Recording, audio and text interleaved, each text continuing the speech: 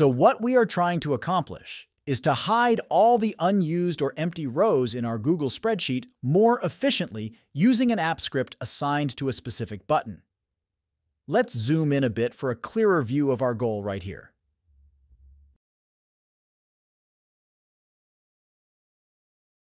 Now let's click on this button that we created and see the result of our task.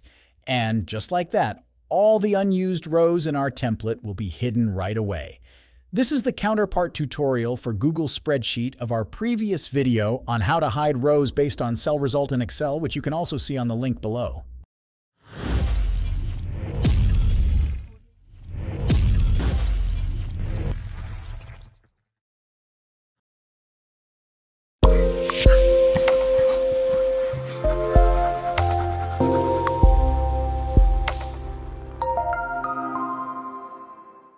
Hello everyone, this is Sir Weds of ISF Media and welcome back to our channel.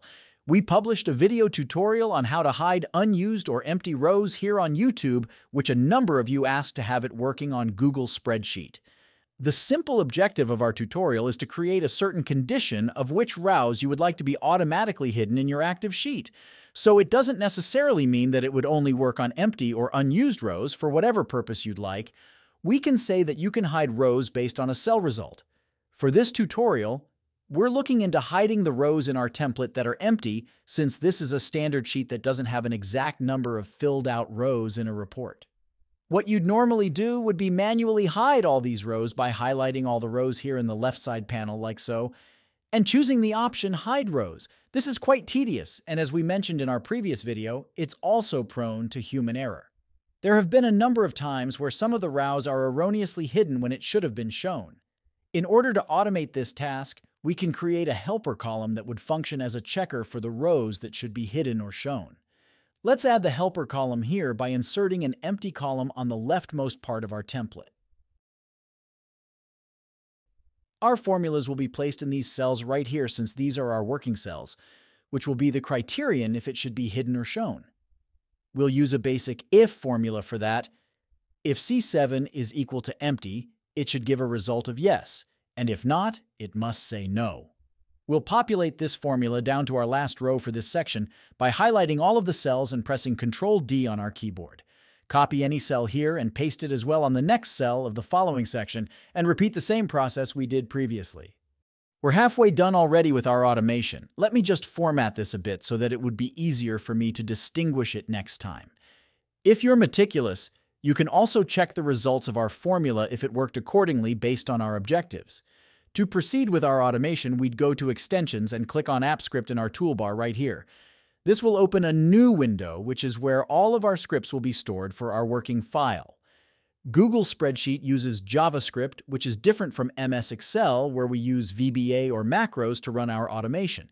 You can also see that a basic structure of our script is already provided by AppScript right here.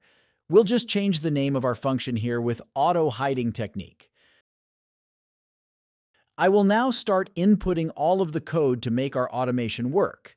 And I will also try to explain the purpose of each line of the code we will be using here.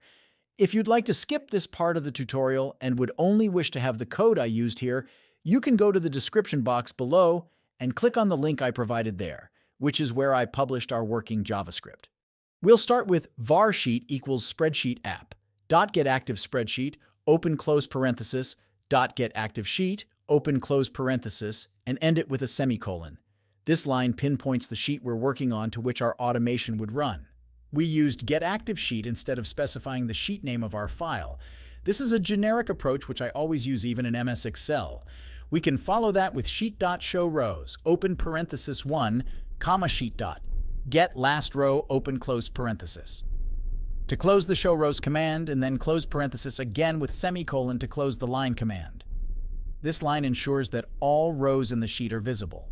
Next, we'll identify the range to where the checking of conditions will be focused on. So we write var range equals sheet dot get range open parenthesis quote and quote a1 to a plus sheet dot get last row open close parenthesis and close parenthesis semicolon.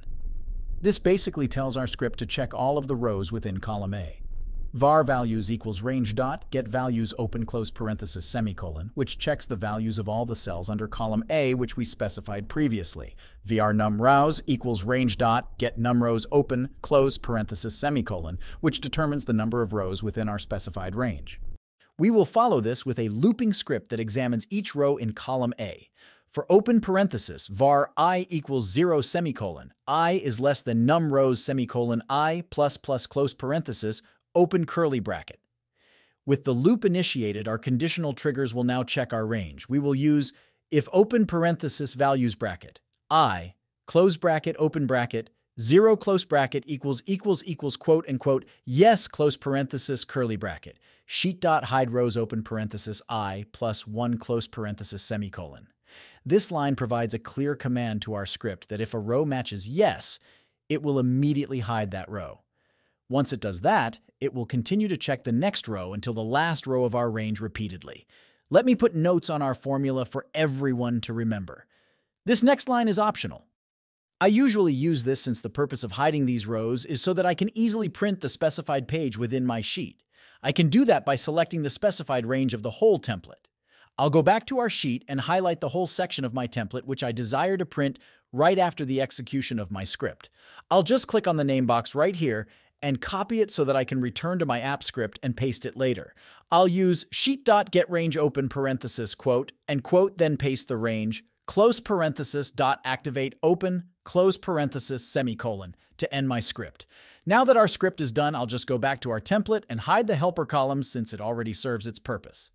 Back to my App Script tab, I'll click on the Save button right here to finalize our script. Once that is saved, I can now choose to click the Run button here, which will execute our script and will take effect here in our sample sheet.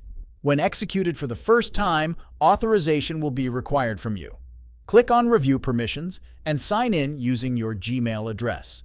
And because our app script isn't registered in the Google database, a security warning will be shown. To approve the execution of our app script, we will click on the Advanced option here and click on Go to Untitled Project since we didn't provide a specific name for our app script. Proceed to click the Allow button after that, and your app script will be executed immediately. Once the execution log shows the execution completed prompt, we have successfully automated the hiding of rows based on the conditions we have provided. You can also see that the whole section of our template is already selected or highlighted which is very helpful when we intend to print it directly here in our Chrome browser. We can now assign this app script we created to a button here in our spreadsheet. We can do that by clicking on the Insert tab right here and choose Drawing. Let me create a button right now.